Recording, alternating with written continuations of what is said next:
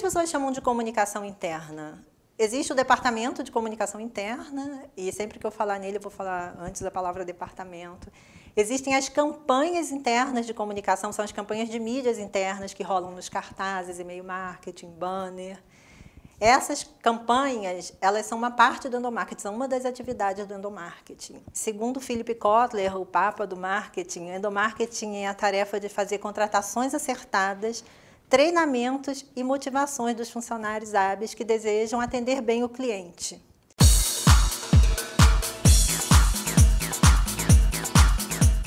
O maior erro que as empresas cometem é achar que o endomarketing tem que ser função exclusiva ou do patrão que, quer dizer, que as definições de endomarketing têm que vir de cima, ou do patrão ou de um departamento como marketing, comunicação interna ou RH.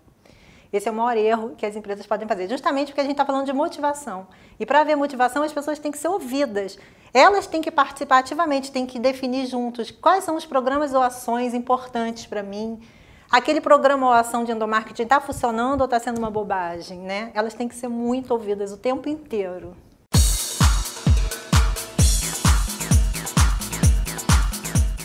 Principal que é preciso é que haja essa comunicação interna fluida dentro da empresa, que as pessoas sejam ouvidas o tempo inteiro.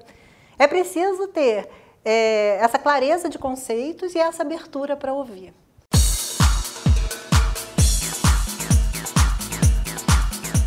Se ela deseja fazer um bom marketing externo, o Kotler nem chama de endomarketing, ele chama de marketing interno.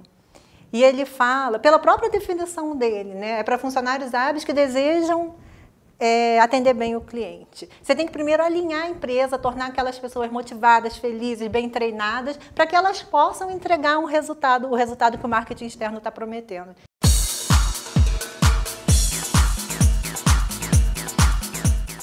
O endomarketing pode mudar completamente a vida da empresa. Né? O endomarketing bem feito, esse em que as pessoas são ouvidas, elas participam das definições de metas, elas Desde, assim, desde que o endomarketing, as decisões dele não se venham de cima para baixo, né? As pessoas têm que participar disso.